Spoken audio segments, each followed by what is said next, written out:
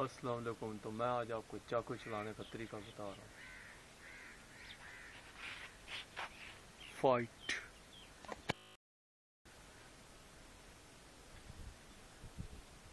ये एक्सरसाइज के तरीके आपने कभी अपनाने हो तो अपना सकते हैं। इससे आपको पावर मिलती है।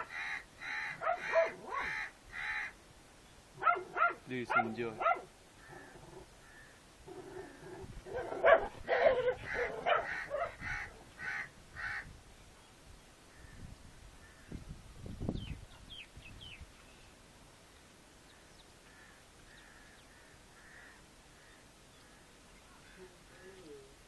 आपको मैं एक और तरीका बताऊँगा थोड़ी देर तक। अब ये एक आपको एक्सरसाइज का तरीका बता रहा हूँ।